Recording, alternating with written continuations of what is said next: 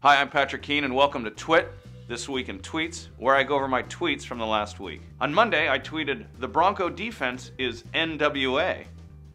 Instead of attitude, though, it's altitude. Because uh, a lot of them are, are black, and then altitude, Denver's high up instead of attitude. They probably still have the attitude, but the altitude. Could be a fun shirt. On Tuesday, I tweeted, If you love a song but don't know what it's about, it's probably about heroin. You know, there's a lot of songs over the history, like The Who or Beatles, uh, or just a lot of, there's other bands too. On Wednesday, I tweeted, Does Facebook have a birthday? Because we, al- it's always telling us, hey, here's people that you may or may not know whose birthday it is today. And it's like, who?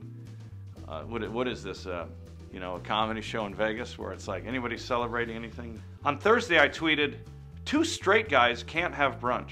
For brunch, there has to be a woman present.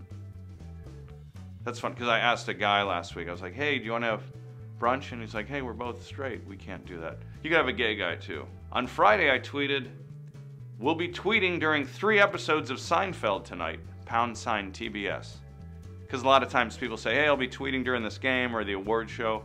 I'll be tweeting during three episodes of Seinfeld. They've been, it's been a rerun for um, you know 15, 17, 18 years now. So, kind of fun.